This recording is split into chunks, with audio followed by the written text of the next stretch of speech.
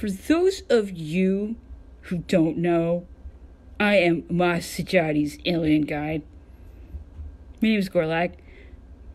I've been trying to infiltrate Tanster's project for years now. Nothing but failure.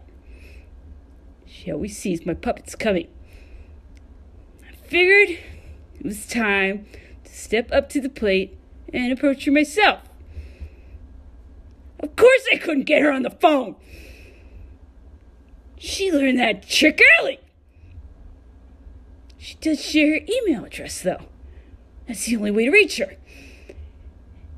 It was obvious the usual stuff wasn't working, so I just straight told her that I wanted to infiltrate her project. She said she did not care. The only thing that mattered to her was honesty.